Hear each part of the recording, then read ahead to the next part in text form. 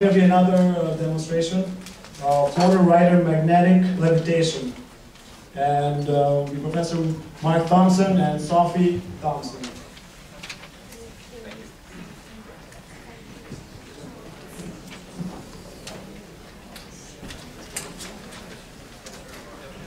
So you the night?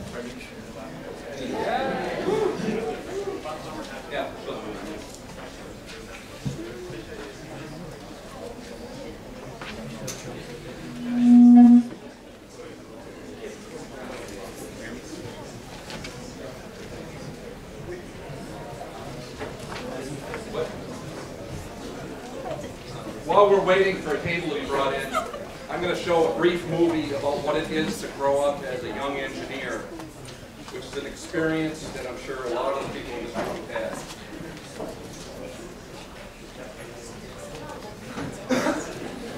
I'm worried about little Dilbert. He's not like other kids. What do you mean? Yesterday, I left him alone for a minute, and he disassembled the TV, our clock, and the stereo. That's perfectly normal. Kids take things apart. Oh, the part that worries me is he used the components to build a ham radio set. Oh dear. Is that bad? Normally I'd want to run an EEG on him, but the machine isn't working. It's worse than I feared. What is it? I'm afraid your son has the knack. The knack? The. It's a rare condition characterized by an extreme intuition about all things mechanical and electrical and utter social ineptitude. Life? No, he'll be an engineer.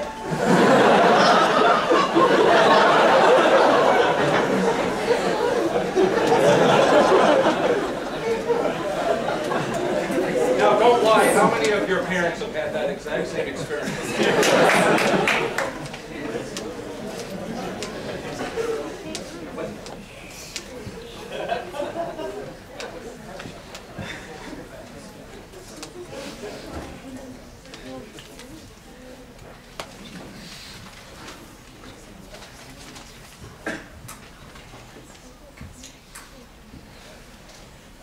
All right, I'm going to try to do it without the microphone because uh, I don't believe in microphones.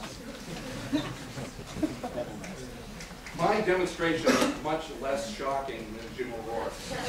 He is uh, electrostatic and I'm a magnetic. And I'm going to demonstrate uh, magnetic levitation in a little bit with my evil assistant Igor. But first, I'm going to show you a brief slide presentation about discoveries that have changed history.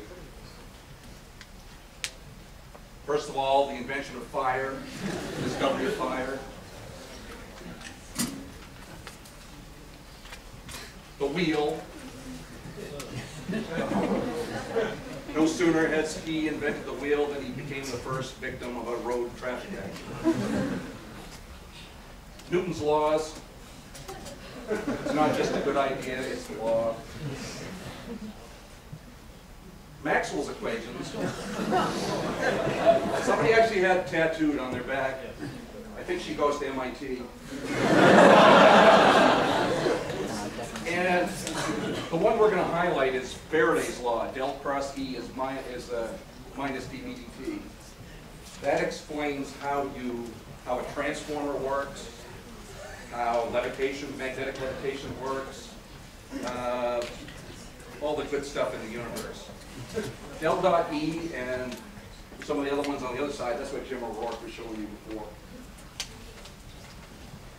Here's Einstein, the theory of relativity. Obviously, he's up there.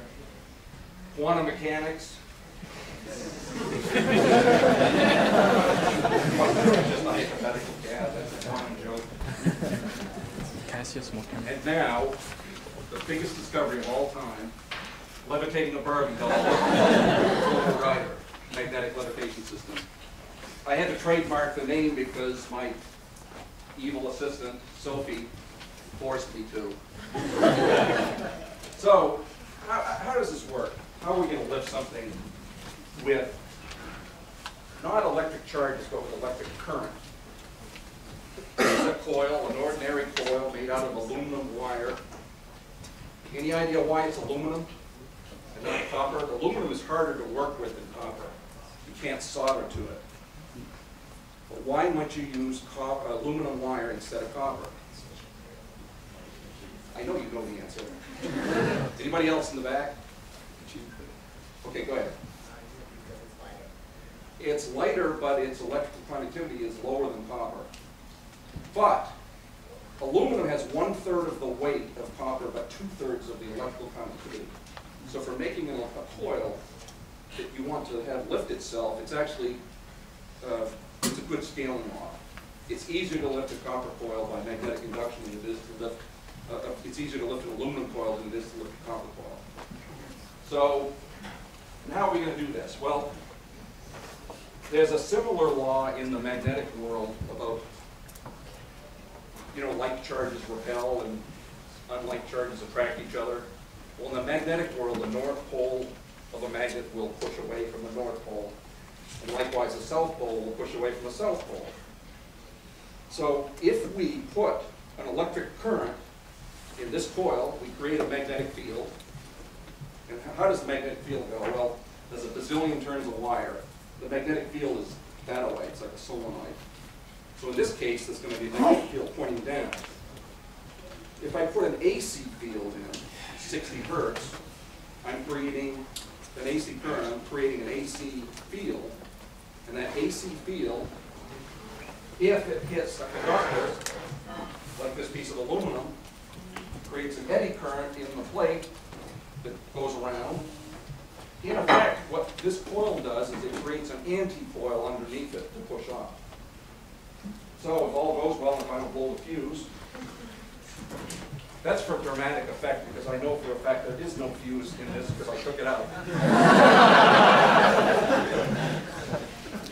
And turn on the variac, this provides 60 hertz current. Turn on the juice, and you can see if the thing lifts off. That's pretty cool. But when you're a, a mad scientist like me, you like to go bigger, stronger, faster. So we built the floater rider, which both levitates and keeps itself keeps itself stable.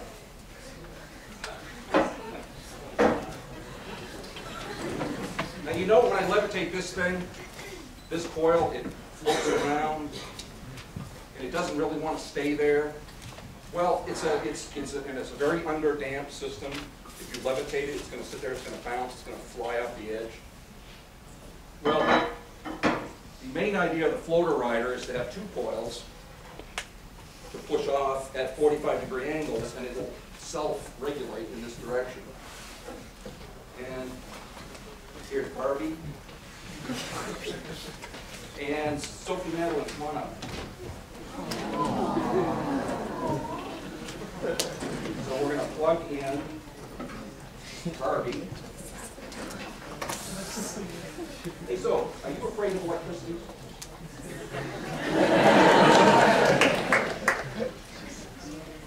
Are you afraid of magnetic fields? Doing something right.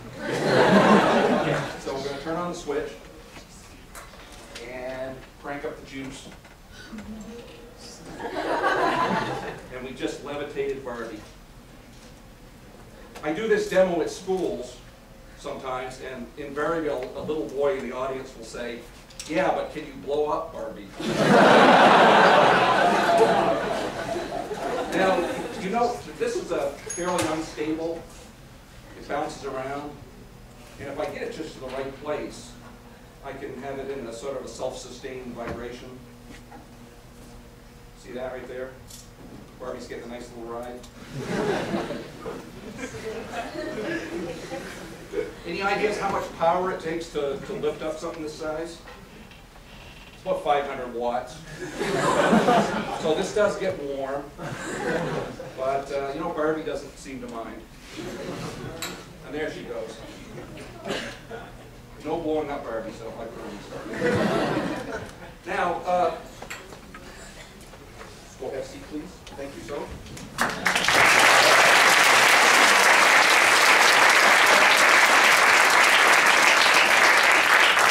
But, but the main principle is Faraday's law of induction. If I were to put a battery on the coil and put a DC current it's not going to lift off. Because the magnetic field will look like what's right here. And by Faraday's law of induction, which is from the tattoo right down here, you have to have a dB dt, a time-dependent, a time-changing magnetic field. So you have a time-changing magnetic field, you get the flux line plot that's shown here. And you see how those flux lines are sort of squished up underneath the coil? Well, that's squishing up, that's the uh, official scientific terminology, by the way. The squishing up creates a lift force in the north, northern direction. Uh, And if anybody's interested, this is all in a paper I wrote 100 years ago when I was a young man. Did I forget anything, Sophie? No, we're good to go. Thanks. Thanks, that's all I have.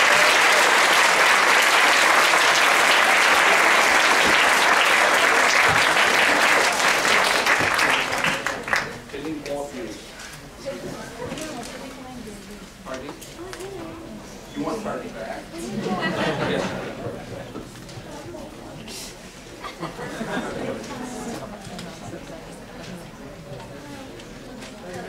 Thank you.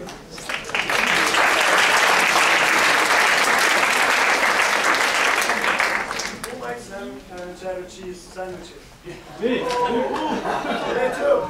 This time, late night show with Professor John McNeill.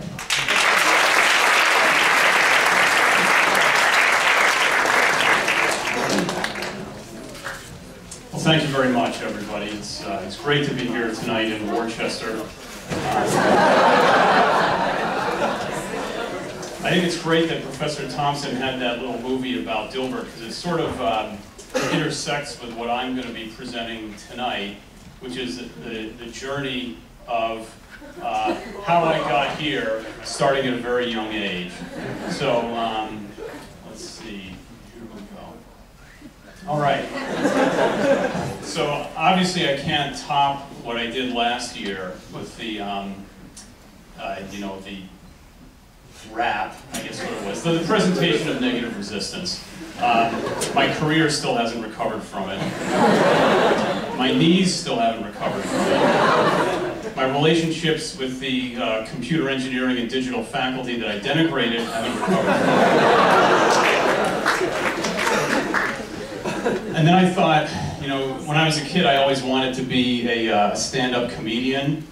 Um, and those of you who have been in my lectures know that. Uh, so I thought I could tell you about some of the funny incidents in my life, like the time we were coming, like we took the kids to Niagara Falls, and my middle kid, Jordan, is, is a real troublemaker. We're coming back, and the customs guy looks in and says, uh, do you have any weapons? And Jordan says, what do you need?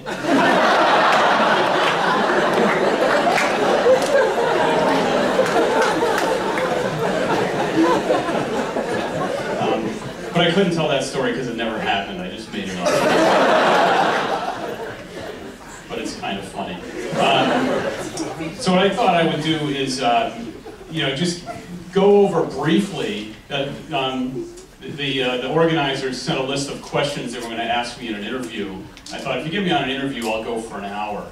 But here, you know, I'm going to have to keep it short, just a few minutes. Uh, just kind of explain, uh, you know, who were influential teachers in my life? Why did I become a teacher?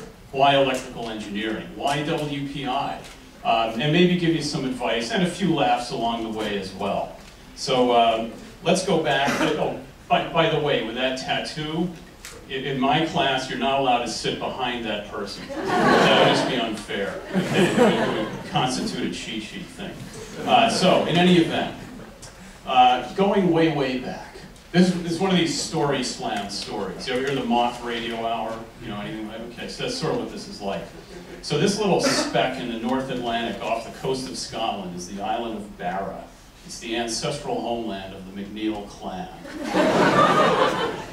This is the castle uh, where my ancestor did not live. That's why sometime in the 1800s, uh, he set off for Northern Ireland to County Antrim. I have to wonder how bad things were in Scotland that Ireland was the land of opportunity. in any event, in uh, 1883, my great-great-grandfather, Alexander McNeill, uh, came to the United States. His grandson, uh, John McNeill, was principal of Erasmus Hall High School in Brooklyn, New York. Um, his wife was a teacher at that school. My mother's parents were both teachers as well. So all four of my grandparents were teachers. There was no way out of it for me. Um, and the most influential teacher in my life was a, uh, a guy named W. David Stratton. He was um, the guy I learned analog electronics from at Dartmouth College in the early 1980s. And uh, I sort of got into this class by accident. This is the uh, lab one that I handed in in this class. And I didn't do as well as I would have liked because I went to Dartmouth to play on the golf team and to study computers. And I quit the golf team after one year and I changed my major to physics because they didn't have computer science, they only had math, and I had to take 10 other math courses. So I didn't really think through my whole academic path very well. So those of you who are my academic advisees, sorry about that. no, you get to learn from my mistakes, let me put it that way. Um, so I, after physics, my first two classes were great, then I took quantum physics, and I decided that wasn't for me. So I found myself sophomore year with no major. My friend said, hey, there's this class called ES64. The professor's great, you'll love this stuff. So the only problem was I hadn't taken the prerequisite for the class or the prerequisite for that prerequisite. so I took all three of them at the same time. Um, and I did terrible, and you can see here, um, how many people have taken a class with me? Right. What's my late policy? One week, one, you can use one late for any reason at any time, uh, but after that, no exceptions. So here's tech memo one. What does it say up here? Late. Yeah, you can't quite see that up there. So I always tell everyone, don't hand in the first one late. That's just what I did. So, uh, you know, it's one of those don't do as I do, do as I say things, but um, that's the way it was. Anyway, uh, Professor Stratton was really my, um, my model as a teacher, and still is. Um, I took, ended up taking one more class from him, uh, really loved the analog electronics, uh, went out and got a job in that field. Um, back in 1982, 83, when I was looking for a job, um, remember back in like 2008, 2009, they said unemployment hasn't been this high since the early 1980s. So that's when I was looking for a job. and, uh, and it took a long time, and I found a job at a company called Analogic. I worked there for about four years. Uh, but then um, the next job I worked at uh, was not really a straight analog electronics job. It was a company called United Technologies Optical Systems, Adaptive Optics Associates. Uh, and what we did was, um, well, we, we shot lasers into the atmosphere and used them as guide stars for adaptive optics. It involved optics, physics, high-speed video, high-speed digital processing, uh, very interdisciplinary, very cool, small startup company. Uh, technologically, it was very exciting. Uh, but it was also a little intense. And I always tell people, you know, when you're looking for a job, not only look for technical things, but also look for culture things. Uh, so for me, technically, when I moved there, this is some post-it notes I put up on the wall of my cubicle, because I was doing all these calculations with optics type stuff over and over again. So here's like some noise equations I got here. Uh, here's Planck's constant, speed of light, equals h nu. Uh, one electron is equal to 1.6 times 10 to the minus 19 coulombs, because the physics people were worried about how many electrons worth of noise there were. So this was stuff I had in my cubicle wall to reassure me that I knew what I was doing. Um, my, my boss saw this and had a different reaction. He put this note on my cubicle. One good amplifier equals one paycheck. Get to work, and you note the, the sensitive misspelling of McNeill there as well. Um, so for, for that reason and many others, by the, uh, by the late 80s, I couldn't resist the call of teaching anymore. Uh, I went back to school. Uh, when I got out of school, school in 83, I couldn't stand being in college anymore. I had to get out of there. Uh, and then by 1989, I couldn't stand working anymore. I had to go back to school. Uh, so I went back to school. I got my PhD. Uh, and I went back to Professor Stratton and I asked him, uh, you know, everybody says I'm crazy to give up on this promising management career I had in this company. The company was growing, we were doing great, but I just wasn't happy doing it. Um, in fact, I had a dream, a recurring dream, where I'm driving along late at night and all of a sudden this brick wall would come up ahead of me and I'd wake up pounding the floor, trying to step on the brakes. Uh, it was very bizarre. But it was one of those things where um, you know, no, no amount of money or professional success um, could have made up for the, the hunger I felt to teach, I guess, is, is the way it was. Uh, and I asked Professor Stratton about this, and the best advice he gave me was, uh, if, you, if you've done your research, if you got a plan, if you have a path, don't listen to the doomsayers. There's always going to be people who say you can't do it, um, but if you believe in yourself, uh, go ahead and do it. Uh, so I did, and, and it worked out pretty well. Um, when got my PhD, graduated in 1994, into the teeth of the worst recession between 1982 and now, uh, or 2008, whatever. Uh, and one thing they didn't tell me when I was getting a PhD is you know more and more about less and less, so you know absolutely everything about nothing. And if somebody doesn't want that little delta of knowledge you have in that professor opening, you got a problem. Um, so my wife was getting out of school at the same time. She went to uh, Sloan at MIT, got a master's degree in management. So we had this map of the U.S. and we blanketed all the places we wanted to go. And with, with little pins, you know, these were real pins, not like the Google thing. You know. um, so every time she got an offer, we'd change the color of the pin and every time I got a rejection, we'd just take the pin out. so things were looking pretty grim. Uh, and then I think it was, I don't know, February or March. Is John, I don't know if it was John Orr who called me or if it, maybe it was Kathy Emerton. I said, this is WPI, you sent us a resume, are you still interested? I said, I can be there by 2.15. uh, but they insisted on having me come for a whole day. Uh, and, and the interview went great. I had, I had learned uh, about WPI a little bit from working with graduates of WPI at both of my previous jobs. Um, but it was, it was a real eye-opener to see the curriculum here, the quality of the students, the quality of the faculty. Uh, it was really a fabulous place to be. Uh, so, lucky for me, uh, I got this letter from uh, WPI in 1994, started here. Um, and it was really kind of coming full circle for me in a way. My, my mother's father, um, who had also been a teacher, had really also been an inspiration to me before going to college, uh, growing up.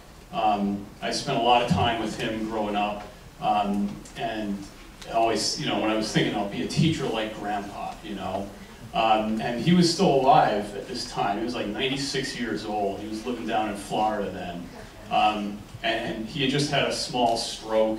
He wasn't doing very well, but, but you know, he still knew what was going on. I went down and, and visited him and said, you know, Grandpa, I'm getting my PhD.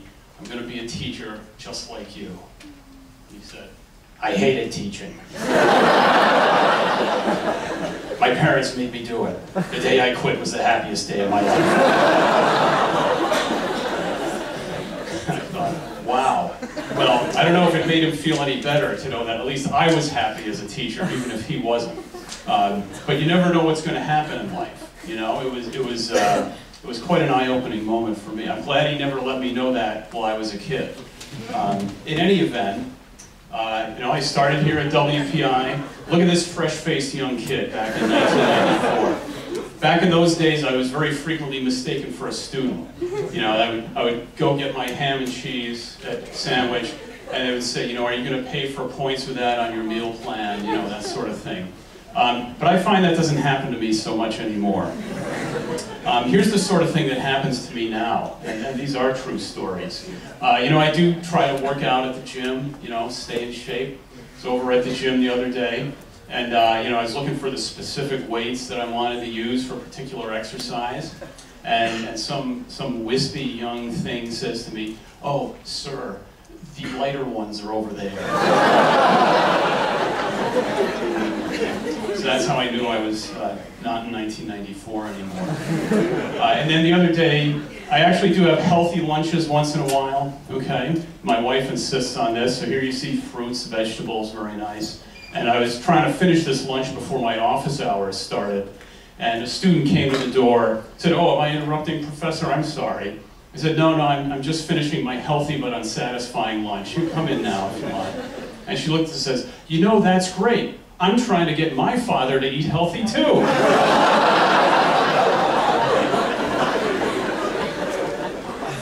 so, um, so that was, yeah, one more thing.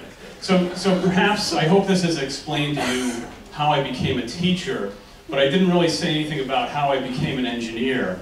And I think as you saw in that Dilbert video, really, it's, it's something that's there inside you all the time. And sometimes you don't even see it uh, unless you're looking in certain ways. So I'll close with this picture of my closet at home. And if you know how I've got the shirts arranged,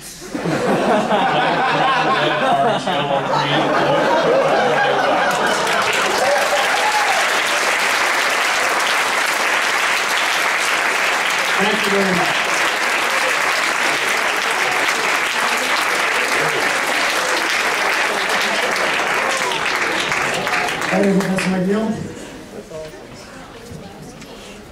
Life is unexpected, uh, especially for electrical engineers. Uh, three men went to Mexico one day and uh, all got drunk. The next day they wake up in the jail. And uh, the police says, you'll be executed on electric chair. They said, what's the crime? They were not telling them the crime. And the first guy goes on an electric chair, they strap him, and said, I am a priest, and I believe in power of God. You will intervene on behalf of my innocence. They turn on the switch, nothing happens. Okay, God must, must like this man. Let him free. The next man goes to an electric chair. He sits there, I'm a lawyer. I believe on power of justice. I, and law will intervene on my innocence. They turn on the switch, nothing happens. I guess might like, the law might like this guy. Let him go too. The next guy comes in, sits, and said, I'm an electrical engineer. Look at those cables, we have to connect those together. so no one will be electro- ele- electrocuted today. God bless his soul. Cable family says,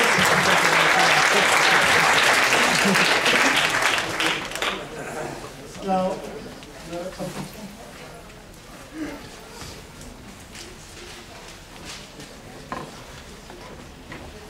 Okay.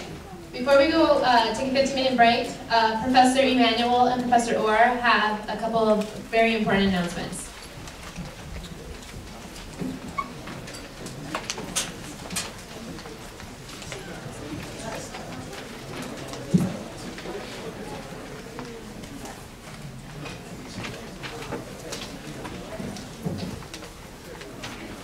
Good evening.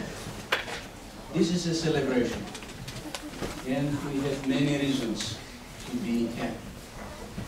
Especially this evening, we celebrate the fact that 11 of our colleagues, 11 of our students received scholarships from IEEE Power and Energy Society. We are very, very proud of these students. We encourage you to apply for the next year group of uh, scholarships. And uh, Professor Orr will uh, recognize the students. Thank you very much, Professor Emanuel. It's really appropriate that we uh, recognize these students at this uh, get-together because this department was really founded on power engineering, high voltage engineering in particular, back in 1896.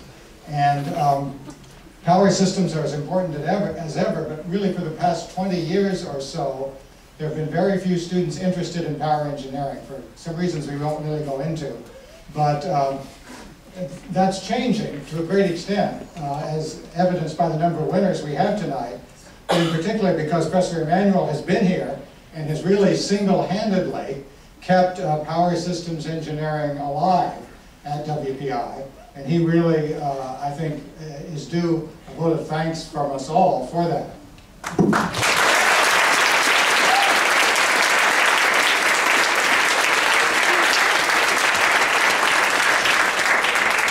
Last year, the Power and Energy Society, uh, in order to help remedy the, the uh, shortage of uh, power systems engineers nationwide, established a, uh, a scholarship fund. And I happen to serve on the committee that, um, that selects the, the winners, although I don't read any of the applications from WPI students.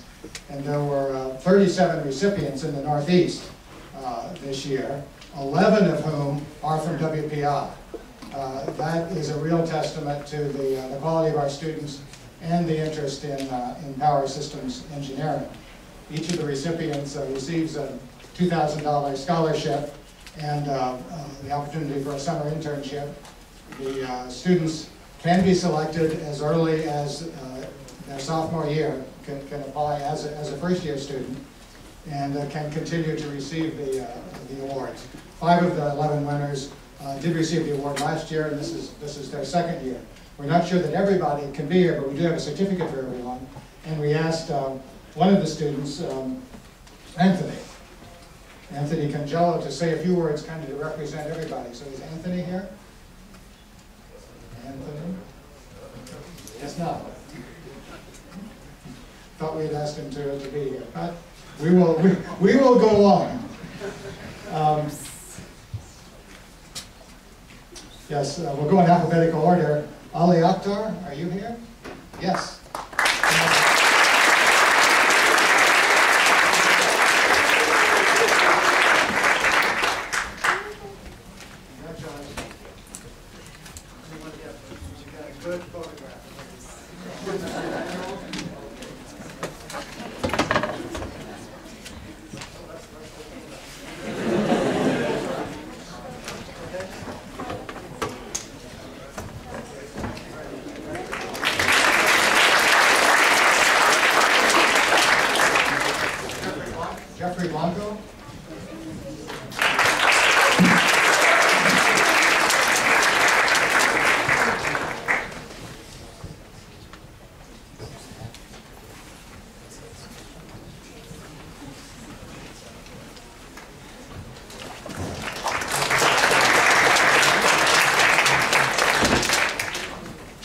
singing?